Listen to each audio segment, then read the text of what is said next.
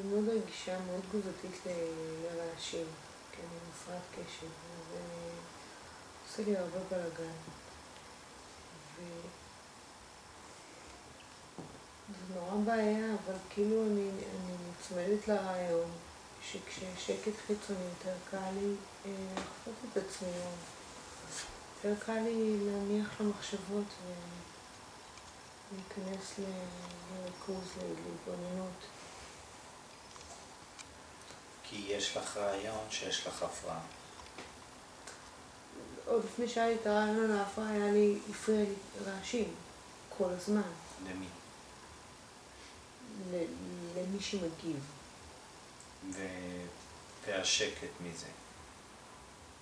שקט זה אני, ואני יכולה לפעמים למרות רעשים להיכנס לשקט.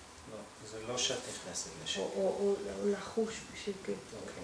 או, להתחבר אליו ולא, ולא לתת לתודעה להיסחף אחרי הרעש החיצוני. נניח היא נסחפת לרעש החיצוני. נלך בדיוק הפוך, כן? במקום בניגוד, מה המחשבה אומרת? יש לי הפרעה, אז אני צריכה תנאים מסוימים. כן? אני אומר לא. יותר נוח לי בתנאים מסוימים. את מתרגלת מדיטציה? כן, אבל אני אומרת לך, כל פעם שיש... את מתרגלת מדיטציה? כן. אני הייתי מזמין אותך לתרגל מדיטציה בחוץ בפארק.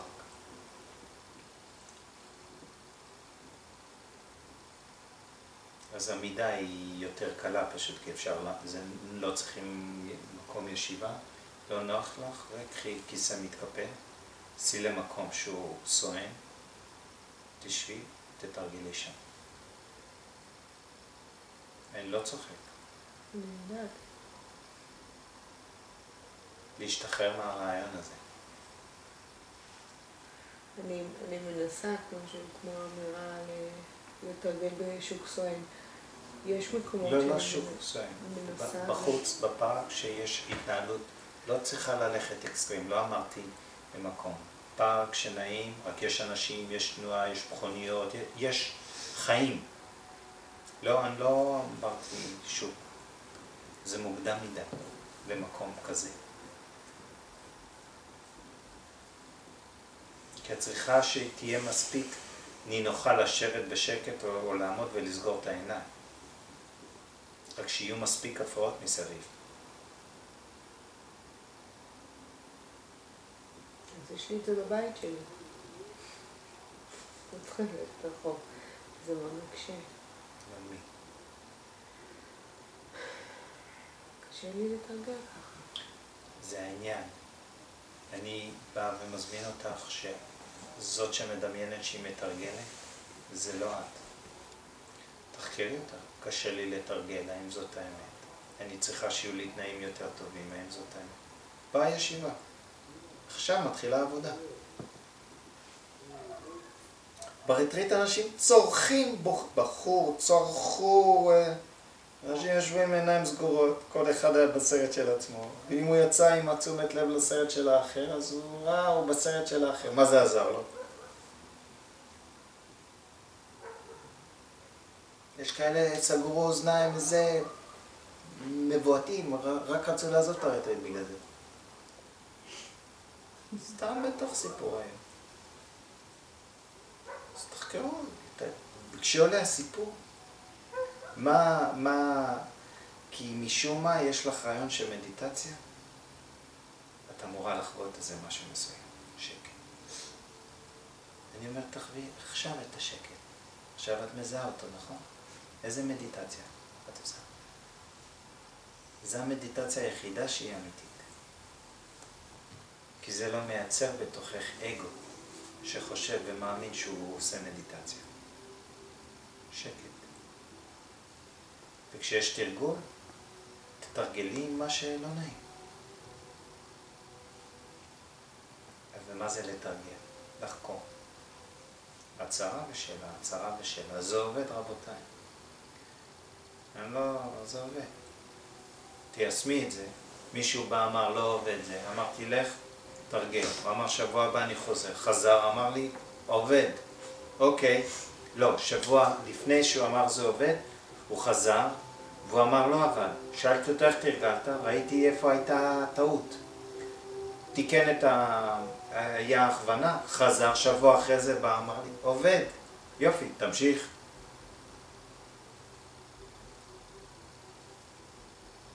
כי אלא אם בא לך להרגיש רוגע. אז את צריכה מדיטציה בתנאים טובים, שיהיה לך הכי נעים. אפשר גם לשים מוזיקה, כל מה, יש מלא מלא סוגים רק. זה לא יעשה אותך, זה לא מביא אה, אור לחושך. שגם זה חשוב לאנשים מסוימים. אני לא שולל את זה. אנשים שיש להם בעיה פיזית או חולים, אני נותן להם, או מנחה אותם לכל מיני מדיטציות שהן הכל רילקסיישן. בשביל שהם יוכלו להיות נינוחים יותר עם כל מה שקורה להם בתוך הגוף. אני חושבת שאני קצת מחפשת את זה. אוקיי, אז זה, תכירי בזה כתרגול מסוים, ובמה יש לך, איפה יש לך כן לעבוד. אני לא, לא שולל, רק זה לא יעזור לך בחיים. רק לרגע לא, ברור, זה גם וגם. נכון. תשבי במדיטציה, שהבנות שלך משגעות אותך. רק את סוגרת עיניים ולא זזה כמה זמן שאת מחליטה. נראה כמה זמן הם ישגעו אותך. תתפלאי. רק מה, את תראי שהן לא משגעות אותך. זה המחשבה שלך, היא זאת שתשגע אותך. עכשיו תעבדי איתה. לא צריכה לפתוח עיניים, את רק עובדת איתה. אין בעיה. באמצע עם ילדים, אין בעיה. באמת שאין. גם אם יקפצו עלייך ואת לא תזוזי, לא תהיי בתגובה. הם יפסיקו.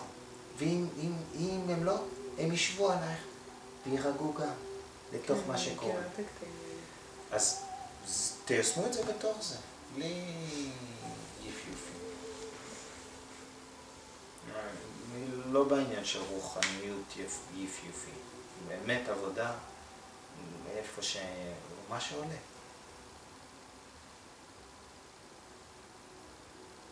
כי רק ככה משהו באמת מהותי קורה לאנשים בחיים. אחר מאוד איזה משהו נעים, יפה, נחמד, עשיתי, הייתי, חוויתי.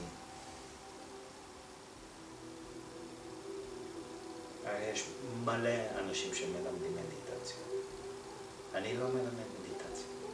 זה מה שאנשים לא כותבים. אני יכול לעשות איתכם עשרות סוגים של מדיטציה.